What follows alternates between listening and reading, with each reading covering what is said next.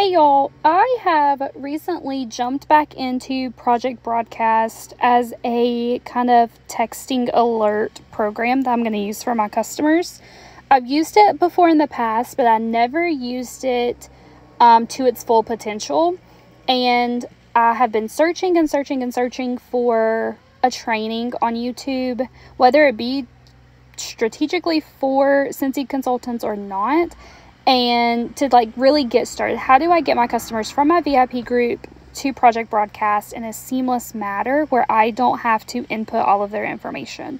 And i was not able to find a training so i was like you know what? Let me just figure it out and then i'll record one and share it with all of my team and Scentsy sisters and misters so that they can easily get started because project project broadcast can be a little overwhelming.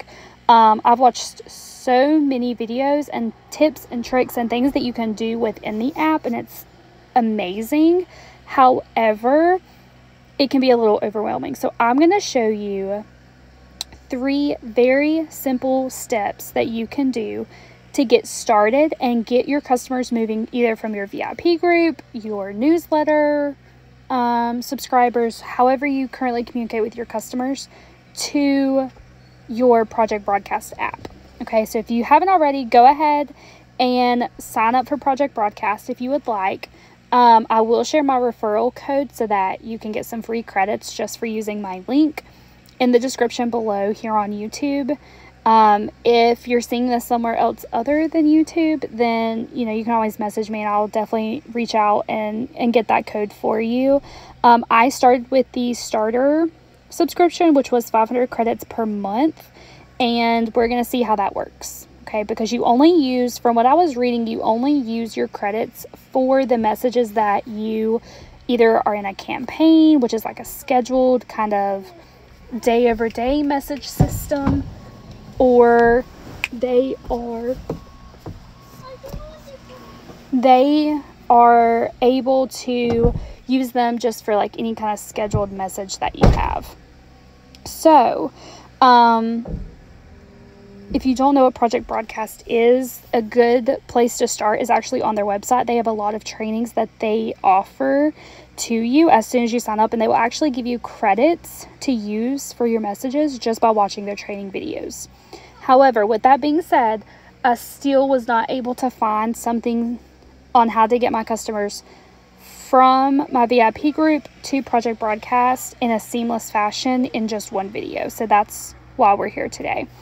Um, so, three things that you're going to want to create a configurable form and two keywords. Okay, so the first thing that you're going to want to do is create your configurable form, which is just like an intake form.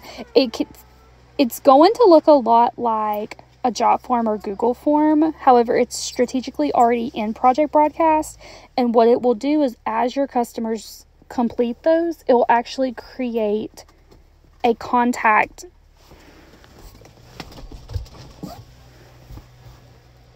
a contact in Project Broadcast for you using your fields that you create rather than you having to input all of their information into the app itself, which is something that I loved. Okay. So if you already have like a customer intake Google form or Jot form, you can simply pull your questions from that and use it in Project Broadcast if you would like. You can 110% do that. What you're going to want to do though is go over here to the far right. And I will say Project Broadcast is a lot easier to work on a desktop. I'm on my mobile right now. Um, but and I did all of this on my mobile, but I will say that it is easier to navigate on a desktop. And you do have to get signed up on a desktop, I'm pretty sure. But if you're on the app, you're going to go over here to the three little lines, which are your menu. And you are going to scroll down under this top portion right above manage accounts and you're going to see configurable forms. Okay, this is your first step is creating that configurable form, which again, like I said, is like a Jot form or Google form, but it's within Project Broadcast and it's just like a customer intake form. Okay. Now I'm going to show you mine and then I'm going to show you how I made mine look like this. Okay. So I have mine labeled as new customer text alert registration. That's just what I have it named. I have a description here. So that's what's going to show above where my um, fields like name, address, all of that. This is going to show above that. And I will show you guys what this looks like at the end. Okay. I'm going to, I do have a keyword applied, which is one of the keywords that you do need to create, and I'll show you guys how to do that. I have mine to apply the keyword customer text alert done on form submission so that it will send them an automatic message once they hit submit on my form. And then down here at the very bottom are all of my fields that I have in there. Okay. Now, first name, last name, company, email, birthday, and anniversary are the default ones. I don't use company and I don't use anniversary. I would probably use anniversary for like my team. However, I'm just showing you how to get your customers from your VIP group to your um, project broadcast at this time. Everything else, so my address, what types of fragrance, what are some of your favorite products, products you're interested in trying and sampling, what licenses do you love, is there anything that you're obsessed with, are there specific collections that you like? Are there any discontinued scents that you like? Are you interested in setting up a rewards link, which is just a party link, or being paid off your own purchases? So, joining, those are all things that I put in there. Okay, so like I said, first name, last name, company, email, birthday, anniversary, those are all the default ones that Project Broadcast already puts in there. Everything else down there originally looked like this custom 11, custom 12, so on and so forth. So to change those, you're going to go back to your menu and you're going to scroll down to where it says under settings, it says custom field names. Okay, we're going to click on that. And then here, you're going to input and you can see where I inputted all of those questions. Okay, you can use my questions if you would like. You'll just maybe have to like pause this video and grab those. Um, or you can you can pull your own. So like I said, if you already have like a customer intake form that you already use, you can simply just take those questions, oh, excuse me, and put it into this form and it would be seamless for you. Okay, after that, you're going to hit save. And then when you go back into your configurable form, rather than saying custom one, two, three, whatever, it'll have your questions in there. So then you just have to make sure you have them enabled. And if you want them to be a required question, meaning that your customer has to put something in the field in order to submit it, then you can also click that checkbox there. Okay, so that's how you're going to get your configurable form set up. This is how you're going to kind of know what your customers want to be alerted about. Okay, next we are going to go over to the key up here at the top. And I have a couple of different keywords that I've already set up, but we're just going to focus on two. Okay. My first one was register, which is what my keyword was in order for them to receive my configurable form. Okay. So when I posted this in my VIP group, I said, hey, to get started with my text alert program, text the word register to my project broadcast number. Okay, and then when that happens, I have a reply message set that says, Hey there, I'm so excited to share this new way of communicating with you. To get started, just click here. Okay, so how you get that there, because that is my configurable form link that I just created, you're going to click on the little pencil, type in whatever you want your message to say, and then right beside the paper clip, in between the paper clip and the little light bulb, you're going to see like those little arrows with a slash in the middle. You're going to click that and then it's going to have where you can input those different things. So then you would click on configurable form and then you would click on your configurable form that you created. So whatever you named it and then the check mark up at the top. I'm not going to do that because I don't want to add that in here again.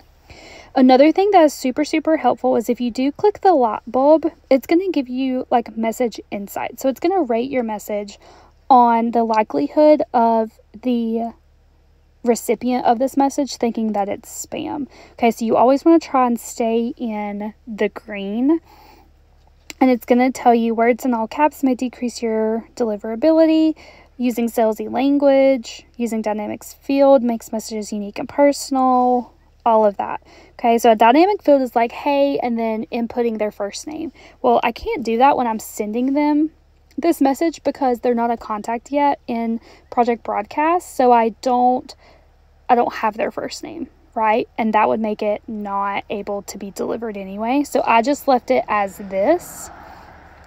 And what that does whenever they send register to my broad my project broadcast number, it gets them to the form. It'll send this message with the link to the form.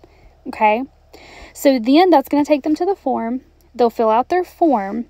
And remember when I was on my configurable form and it said apply keyword to contact on form submission so that they're going to text the word register. It's going to give them the form. And then when they submit that form, it's going to apply the keyword customer text alert done.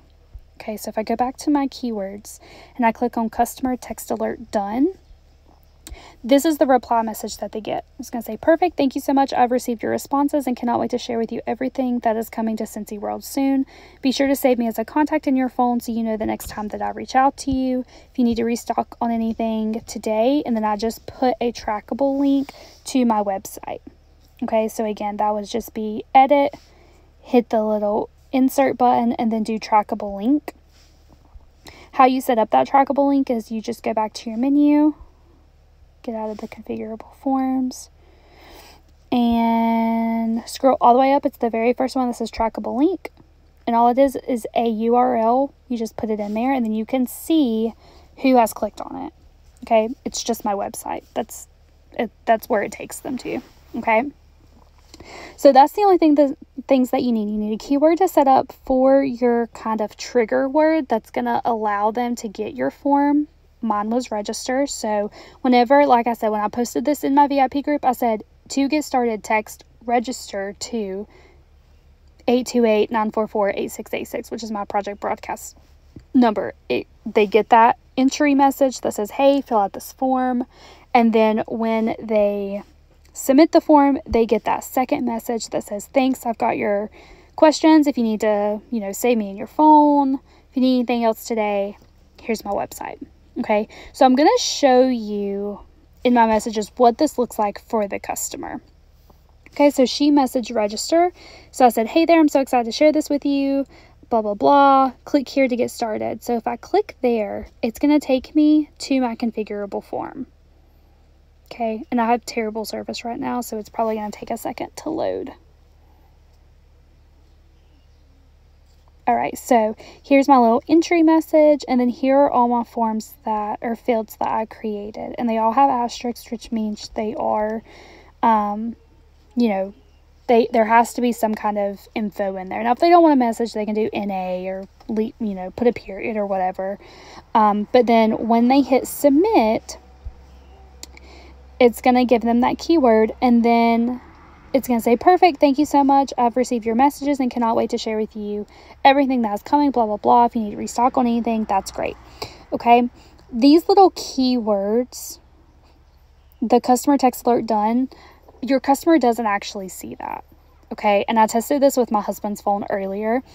They don't see that. They only see messages that you that they send you and then what is on the right hand side that you're sending them. So like then when I go to her contact, I'm going to show you where the responses show up as well. Okay, so here, and I scrolled down past because I don't want to give her address out, but here under custom fields is going to be all of her answers. Okay. And you can click on the little pencil and it'll bring it up in that form so that you can kind of read it a little easier. Okay. So then what you can do, so like this customer, her favorite products are wax bars, wash, washer whips, scent circles, bathroom cleaner, blah, blah, blah. So then what you want to do is you want to create keywords for all of those things and attach them to her contact. So I, you can see how I've kind of already did some of that. And it kind of initially looks like I've been sending her fruity, citrus, woods, bakery, but those are keywords that I'm putting on her contact. She's not actually getting those messages, if that makes sense. Okay, so that's, I'm not sitting here blowing her up with fruity, citrus, woods, bakery, wax, washer whip, scent circle, bathroom cleaner. She's not getting all of those messages. It's just showing up here on the back end um, because I attached that keyword to her contact. Okay, so that's all you have to do. Set up two keywords, and you really don't even have to have that second one. I just like it to says, "Hey, thanks, I got your things," and then send them to my website should they need to, you know, place an order today. And then your configurable link, which is that first keyword mine was register is to get them to that form. Hopefully this was helpful. If you guys have any questions, please let me know. Again, I will drop my referral code to Project Broadcast down in the comments. Um, should you want to use it. But hope you guys have a great day and hope this was helpful. Bye, y'all.